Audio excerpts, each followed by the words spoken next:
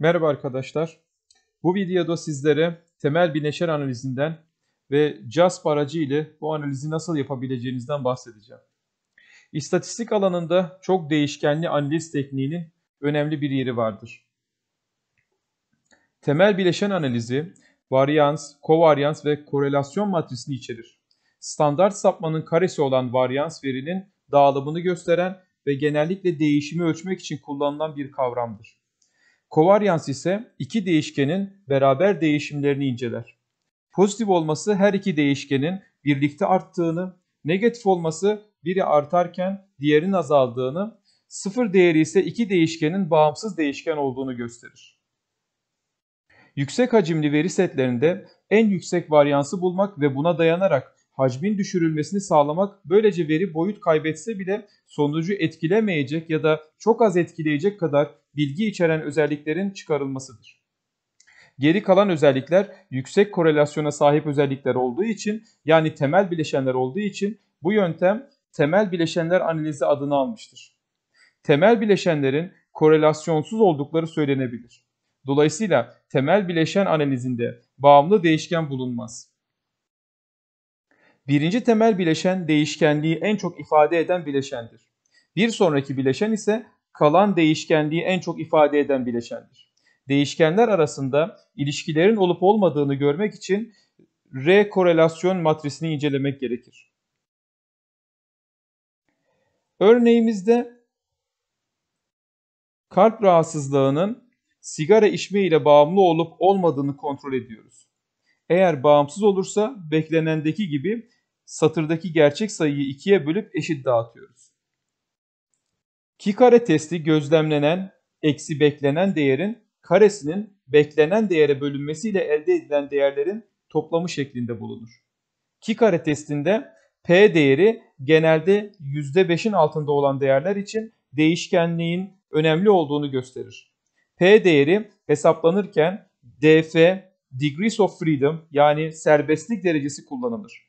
Değişkenlik gösterme yetisine sahip değerler olan mantıksal olarak bağımsız değerlerin maksimum sayısını ifade eder. Serbestlik derecesi satır eksi 1 çarpı sütun eksi 1 şeklinde bulunur. Bu örnekte 2 satır ve 2 sütun olduğuna göre df değeri 1'dir. Ki kare kritik değerler tablosuna baktığımızda elde etmiş olduğumuz 8.42 değerinin 0.005 P değerinden küçük olduğu görülmektedir. P değeri %5'in oldukça altında olduğu için sigara içme ile kalp rahatsızlığı arasında kuvvetli ilişki olduğunu söyleyebiliriz. İşte temel bileşen analizinde bu şekilde bağımlı değişken bulunmaz. Şimdi JASP uygulamasını açalım. Sol taraftan Open Computer Browse'a tıklayalım. Masa üstündeki CSV dosyasını yüklüyoruz. Videonun açıklama kısmına da veri setini bulabilirsiniz. Veri, veri seti bu şekilde okunmuş oldu. Sütunlarda bazı niteliklerin ölçek, scale ve bazılarının ise scale olmadığını görüyoruz. Çıktı olan yakıt hariç diğerlerinin türünün üzerine tıklayarak scale yapıyoruz.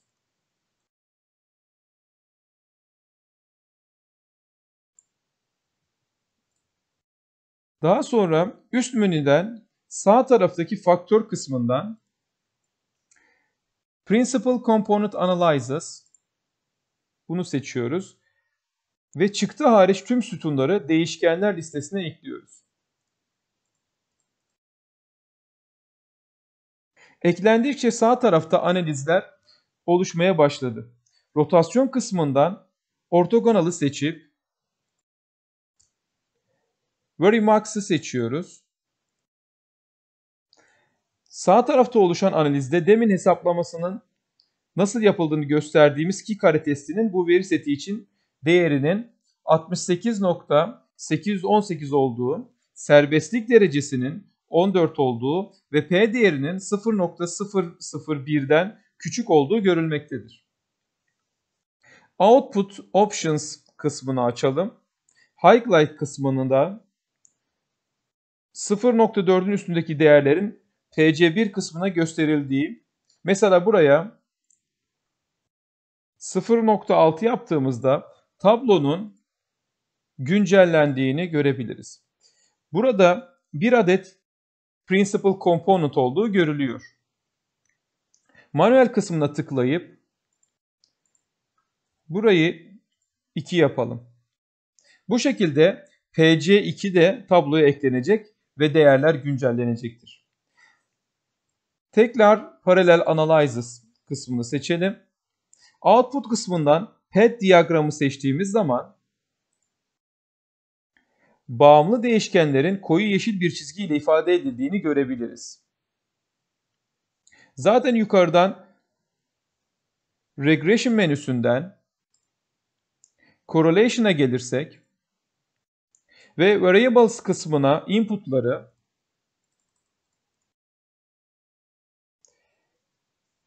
condition on kısmına da yakıtı alırsak burada çıkan P değerleri aynı sonucu gösterecektir.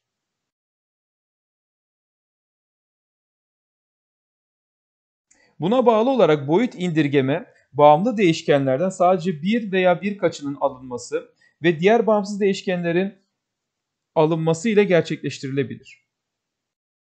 Bir başka videoda görüşmek dileğiyle.